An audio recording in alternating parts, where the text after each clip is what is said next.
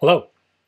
Today's video is a response to a question I received on a different video, which right now in hindsight, I wish I had rewatched because I probably could have answered the question faster. I put together early on in this channel's history a video on rate limiting. And there was a question on that video about rate limiting egress traffic basically capping the upload speed. In that video, I used a shaping rate, which is configured under the class of service part of the hierarchy. A shaping rate has a characteristic that it can only be applied to egress traffic. And I just forgot that I had used the shaping rate. The way that I limited traffic in that video was to apply this shaping rate to the interface that my wireless was connected to, effectively capping the egress coming towards me from the internet. So while I saw that reduction in bandwidth, I wasn't actually capping off my download speed coming from my ISP. I was just capping off my access to that bandwidth at the access point I was connected to. So to answer that user's question, you apply the shaping rate to the ISP connection. It's egress by default. That should cap off your upload traffic. This could have just been a message, but since I felt kind of guilty about it, I wanted to make a video that explored bandwidth rate limiting. We'll use a policer to do this, and a policer can be applied to both ingress or egress traffic. There's a couple different ways to set up a policer, and there are situations where you may want to set up a policer and a shaping rate. We'll get into all that here in a moment. Let's head to our lab first, and we'll talk about some of the things we'll do today and some of the resources that are available if you're looking to do this type of work in your own network. So what is shaping doing and what is policing doing? This is going to be a very simplistic explanation, but essentially Shaping, you define a shaping rate, will buffer and queue packets that exceed that rate. So your ability to shape traffic will be connected to the hardware that you have and its ability to buffer and queue traffic. Policing is a hard cutoff, although you can define, actually you do define, a burst rate, which allows you to get a little bursty and hopefully train TCP to smooth itself out. And that's that, that word smoothing is really what these two things try to accomplish in their own way. Although policing is definitely more hard cutoff, get your burst rates right so that TCP does the work, whereas shaping is more the hardware and the buffering and the queuing, which has its downside if you've got big queues or deep buffers and you don't manage things correctly. It can introduce delay because it's trying to buffer traffic. You know, TCP just keeps, you know, like it doesn't know if the switch is buffering traffic that it has exceeded a bandwidth limit so it's not going to adjust its window, frame, uh, window size. In fact, it might increase it. Whereas with policing, if you have a burst rate that's too small, you're going to get very abrupt drops. And if it's too large, TCP will uh, get a little jagged. It'll jump up and down. It'll introduce a lot of jitter. And that can essentially prevent you from using the bandwidth that you have available. We're going to be using the policer method because I used the shaping rate method in the last video even though we're still going to be applying this to do uh, up, you know, basically upload speed policing. Like I said with the last one, I was doing it egress, but I was doing it on the inside of my network, not facing the ISP. So we'll see the bandwidth number stay the same, my download speed, but we should see my upload speed uh, drop down to the value that I give it. Actually lower than that because I'm sharing the network with all the other devices in my house, but we'll see. If you're interested in more details in any of these topics, Uh, we have a great day one guide. Just Google Juniper day one guides.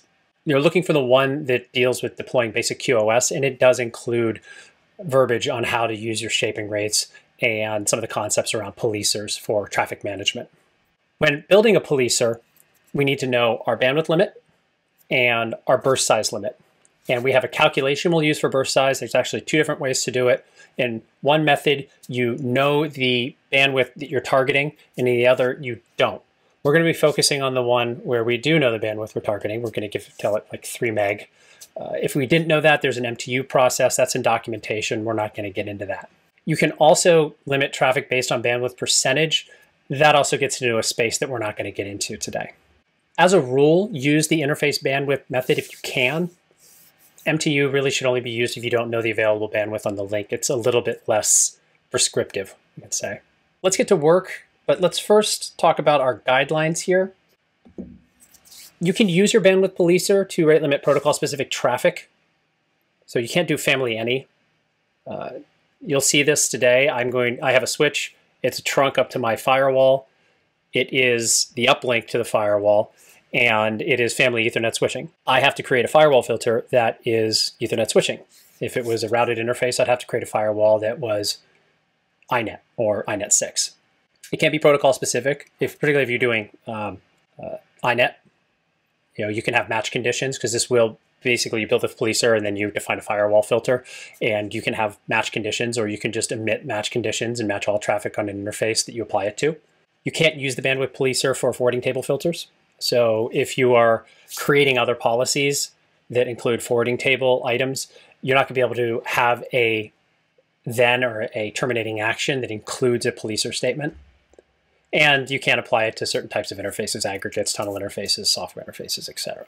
First thing we'll do is define our policer. And I've already done this. I just need to activate it on the interface. So I'm going to get into the config and I'll show you what it looks like.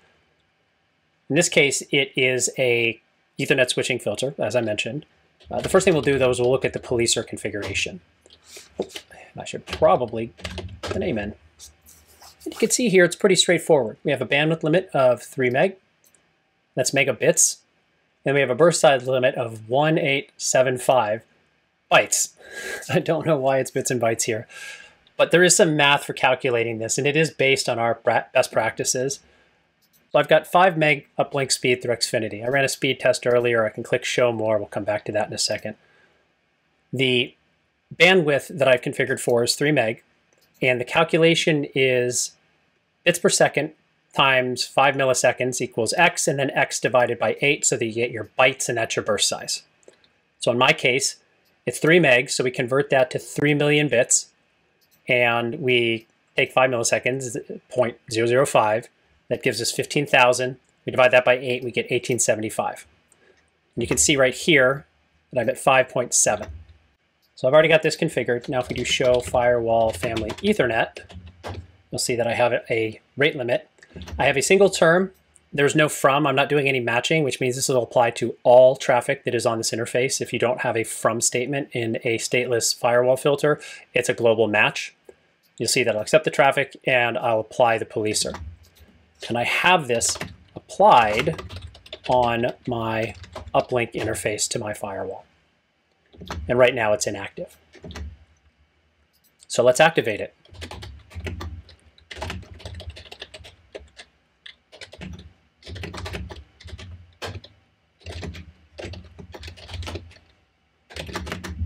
All right, that is it. Wait for that to commit. We'll run the speed test again. Actually, you could start refreshing this now. My expectation here is that I will see somewhere around 2 meg upload. That's because there's always a, I mean, it's the service you're using. I'm connected to my Wi-Fi, which is connected to my home switch, which is connected both to my lab servers, all the other devices that are in my house. I'm sharing that upload bandwidth. If it was the download, it would be much more subtle, you know, a couple meg, but since it's the upload speed and I don't have symmetrical bandwidth because I refuse to pay them to build the fiber infrastructure just to get that bandwidth to my house, uh, that you know that's it's a small number and it has a more visible impact. So this is actually that's exact this is actually what I was expecting. That's about normal. I did this earlier and I got about two meg. That's pretty much it. Uh, I'm going to roll that back. Obviously, I don't want this configuration to be forgotten.